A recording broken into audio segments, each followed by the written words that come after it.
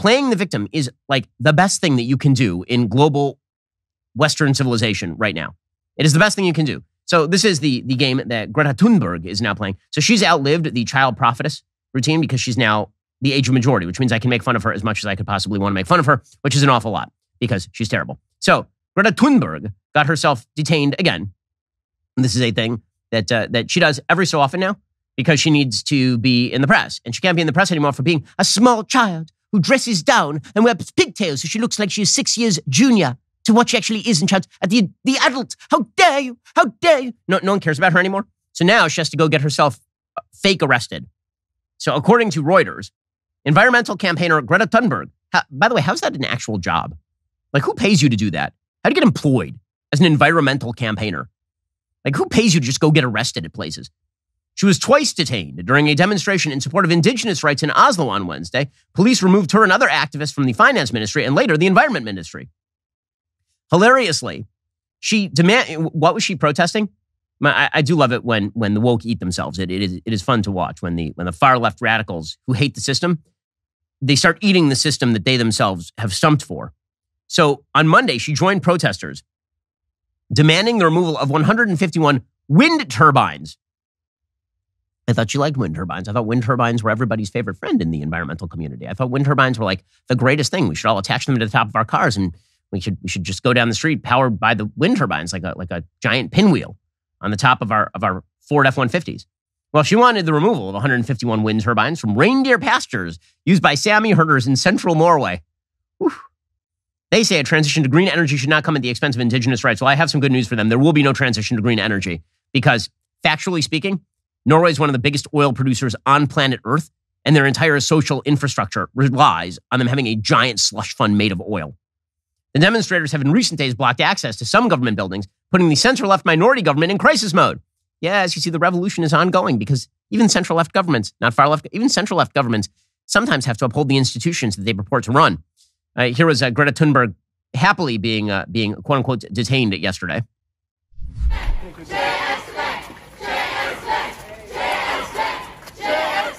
She looks very upset. Uh, what I love is all, all the, the the cops who are carrying her, like, oh, I can't believe we have to carry on this dead white human. Is it that the cops are just carrying her around? She's like, she's enjoying herself. Again, another thing, my th- a lot, lot of a lot of kind of comps to my three year old today. This is also what my three year old does when she just doesn't want to walk places. Just sits down on the pavement, and then I have to carry her around and schlep her around. It's half my exercise. Thunberg, holding a red, blue, yellow, and green Sami flag, was lifted and carried away by police officers from the finance ministry while hundreds of demonstrators chanted slogans. She told Reuters, quote, We want to make it very clear it is the Norwegian state that is committing the real crime here for violating human rights by building wind turbines, wind turbines. Reindeer herders say the sight and sound of the giant wind power machinery frighten their animals and disrupt age old traditions. And how is Santa ever going to have his reindeer if the wind turbines frighten away the reindeer? The, the, the, mo- the most delicious thing about the radical leftists who again feature the marginalized. There's, there will always be marginalized. The marginalized shall always be among you. What that means is, even if you build your new system, even if the center left is running things, even if they're as green as green can be, there will always be a more marginalized group that is out there awaiting a new radical to tear down the system. Which is why it is worthy of, of note here that hilariously, Germany and Italy, both of whom signed on to all this Green New Deal garbage over in Europe, both of whom essentially disconnected power plants and tried to move toward more environmentally friendly energy. And meanwhile, we're kind of shuttling in Russian oil through the back door. Well, now Germany and Italy are signaling that they're going to kill the EU's attempt at a combustion, internal combustion engine ban. According to the Wall Street Journal, a group of large European countries is threatening to block a plan by Brussels to effectively ban the internal combustion engine, endangering the bloc's ambitious agenda to combat climate change. Germany and Italy said this week they could block the plan's formal approval at crucial meetings this week and next. Berlin said it would oppose the plan unless Brussels agrees to allow so called synthetic fuels that can burn like gasoline and diesel but spew fewer climate damaging emissions alongside fully electric vehicles. Now, the reality, of course, is that Europe is going to be relying on oil for a long time to come. They do not have the geography that is necessary in order to support, for example, solar energy. Solar energy, we don't have the battery power on planet Earth to actually allow us to use solar energy as a substitute for hardier forms of energy. Also, Europe tends to have very short days at certain times during the year and not a lot of sun. It turns out that Europe is not actually all that land rich. So having wind power things not going to do it. We'll get to that in just one moment. First, let's talk about clarity. Well, our politics are increasingly murky these days, but your call quality should not lack clarity. Your call quality should be perfectly clear, and you shouldn't be spending a lot of money on corporations that hate your guts. This is one reason to switch your cell service over from Verizon, AT&T, or T-Mobile over to Pure Talk. Pure Talk saves the average family over $900 a year when they switch from Verizon, AT&T, or T-Mobile. That is correct. You can save 900 bucks a year on your wireless bill and still enjoy ultra-fast 5G service. You get unlimited talk, text, and plenty of data for just 30 bucks a month. Pure Talk is so sure you're going to love their service that they are backing it up. They 100% money back guarantee. Stop paying a fortune to Verizon, AT&T, or T-Mobile. You can cut your bill in half with Pure Talk. Their US-based customer service team makes the switch super easy. Switch on over to Pure Talk in as little as 10 minutes while keeping your phone and your phone number. Your first month is guaranteed risk-free. Simply head on over to puretalk.com, enter promo code Shapiro, save 50% off your very first month of coverage. That's puretalk.com. Promo code Shapiro. Pure Talk is simply smarter wireless. Restrictions apply. See site for details. And the coverage is great. I've been using Pure Talk for all my business calls. You should do the same. PureTalk.com, enter promo code Shapiro, save 50% off your very first month.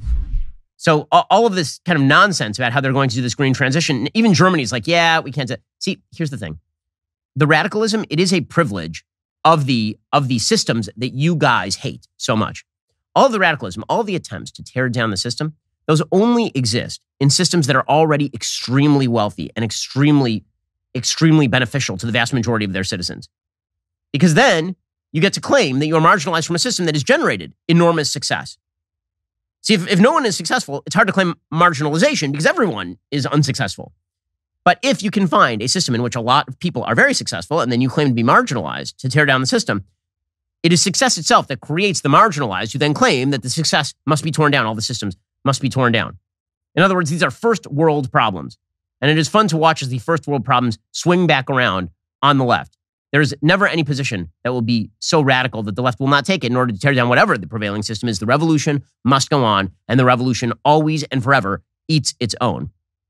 Okay, meanwhile, on the Hill yesterday, Merrick Garland, the Attorney General, came up to testify on his job thus far. He has done an unbelievably poor job over at uh, over at the DOJ.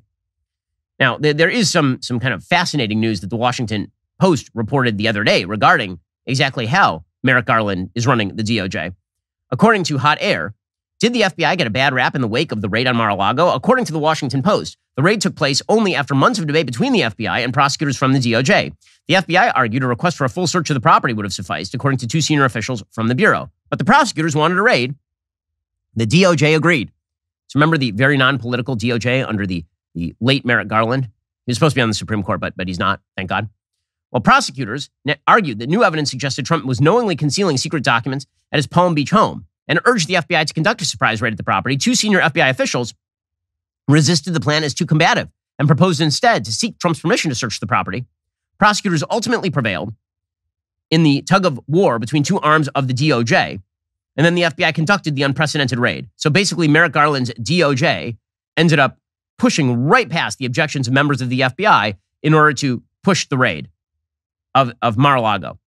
So Merrick Garland doing just an amazing job. Well, Merrick Garland had to sit in front of a bunch of senators, and it turns out it did not go unbelievably well for him. So it began with Senator Ted Cruz grilling Merrick Garland on the fact that the DOJ really did virtually nothing to stop people from protesting outside the homes of Supreme Court justices in the aftermath of the leak of the decision that overturned Roe versus Wade. Merrick Garland could have arrested a lot of those people because it turns out that it is illegal to attempt to use intimidation against a judge. It's against federal law. He didn't do any of that. So Ted Cruz pushed him on this, and Merrick Garland, of course, had no answer. So you just said, yes, it's a crime to protest at the home of a judge. Same goes for jurors, by the way, with the intent of influencing a case. But in the wake of the leak of the Dobbs decision, when rioters descended on the homes of six Supreme Court justices, night after night after night, you did nothing. The department did nothing. When these same groups posted online information about where the justices worship, or their home addresses, or where their kids went to school, you again sat on your hands and did nothing. Your failure to act to protect the safety of the justices and their families was an obvious product of political bias. Okay, he happens to be true. That that's true. Merrick Garland got very angry, and then he's like, "I want to answer the question," but his answer to the question was, "I put people from the DOJ outside the Justice."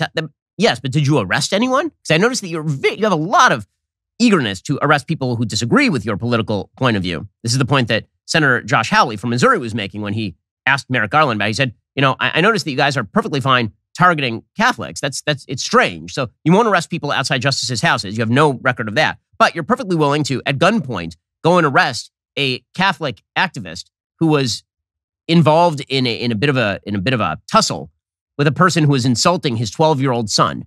Here's Josh Hawley going after Merrick Garland.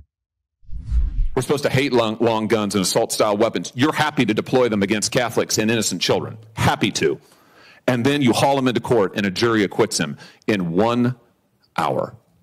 I notice a pattern, though.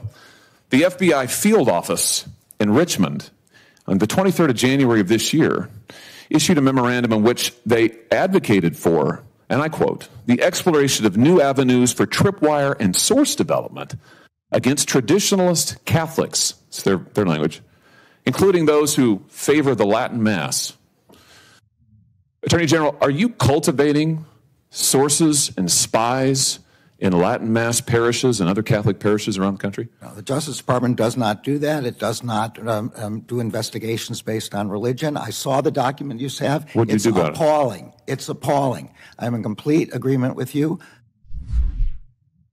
Well, then, um, why was it put out? And why does this seem to be, unfortunately, a pattern inside Merrick Garland's DOJ? Alrighty, guys, the rest of the show is continuing right now. You're not going to want to miss it. We'll be getting into the question of why Sesame Street is featuring guests who really should not be around the kiddies, I think. If you're not a member, become a member, use code Shapiro at checkout for two months free on all annual plans. Click the link in the description and join us.